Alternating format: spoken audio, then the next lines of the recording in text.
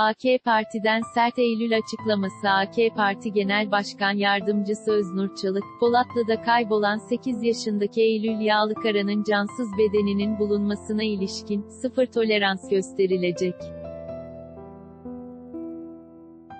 Asla bunlarla ilgili olarak da ceza indirimi söz konusu olmayacaktır, dedi. Ankara Polatlı'da 22 Haziran'da kaybolan ve bir haftadır her yerde aranan Küçük Eylül'den kara haber geldi. Küçük Eylül'ün cesedi Yüzükbaşı mahallesi yakınlarında bir elektrik direğinin dibinde gömülü olarak bulundu. Küçük kızın cenazesi, otopsi için dün gece Ankara Adli Tıp Kurumu'na kaldırıldı. Bugün toprağa verildi cenaze. Otopsinin tamamlanmasının ardından Eylül'ün evinin bulunduğu Uzunbeyli mahallesine götürülecek.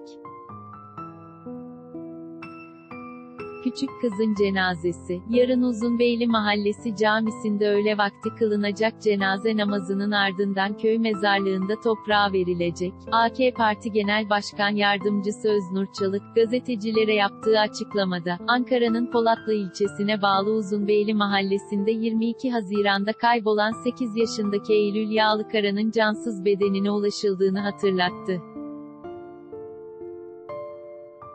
Öncelikle küçük kızın ailesi ve Türk milletine başsağlığı dileyen Çalık, seçimden önce cinsel istismarla ilgili çok önemli düzenlemeler yaptıklarını belirtti.